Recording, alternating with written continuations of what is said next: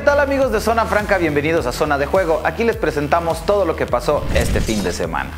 La Fiera cumple 75 años de grandeza, un equipo que ha vivido de todo en el fútbol mexicano, poniéndole ese toque y ese sabor que solamente una afición como la de León le podría poner. El León debutó en la Liga Mayor el 20 de agosto de 1944 y hoy a siete décadas y media de distancia sigue escribiendo historia como uno de los equipos más importantes del fútbol en México. Además, llegan jugando su mejor nivel en los últimos años y este fin de semana le regalaron una gran victoria a su afición. El rival en turno era el Guadalajara, equipo con el que en las primeras décadas del fútbol se vivió una intensa rivalidad porque ambas escuadras buscaban siempre estar en lo más alto de la liga.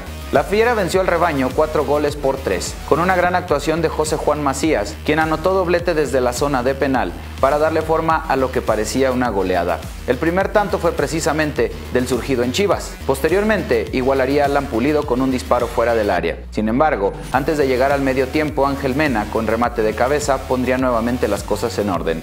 Macías de penal puso el tercero y Jairo Moreno el cuarto.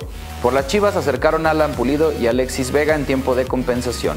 El gran protagonista del partido fue el VAR, ya que el árbitro Jorge Isaac Rojas lo consultó en cinco ocasiones.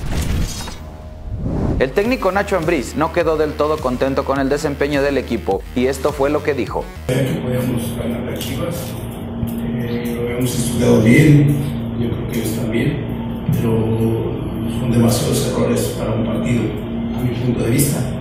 Es cierto que sacamos el resultado, contento por que la afición se va contenta a casa, no habíamos ganado en casa, pero nos vamos a cometer errores que levantemos el ánimo un equipo que lo teníamos dominado y, y el equipo estaba haciendo, para mi gusto, un buen partido. Este fin de semana se disputó la tercera fecha de la Supercopa y el gran vencedor fue el tapatío Salvador de Alba el Copetín, quien se alzó con la copa en la categoría Mercedes-Benz, dejando en la segunda posición al que hasta el momento era líder del campeonato Hugo Oliveras, mientras que Michel Jordain, quien iba ganando en las primeras vueltas, no terminó debido a que salió del camino. En las tribunas se vivió un gran ambiente y esto fue lo que dijo el famoso Copetín sobre su triunfo. Y después los dejamos con algunos segundos del rugir de los motores. Así es, buen, muy buen lugar. Ayer salimos de la segunda posición, un 1-2 de la calificación para el equipo Cirala Racing. Muy contentos con el resultado, nos llevamos el primer lugar. Estamos creo que de líderes del campeonato. Bueno, eh, vengo a León, me recuerda bastantes cosas de mi infancia. En los Cars varios campeonatos me llevé aquí y bueno, una carrera más, muy contentos y hay que seguir trabajando fuerte, agradecer a todo el Siderala Racing Team, todos mis patrocinadores y todos los chavos que ponen un trabajo impresionante para tener el auto así.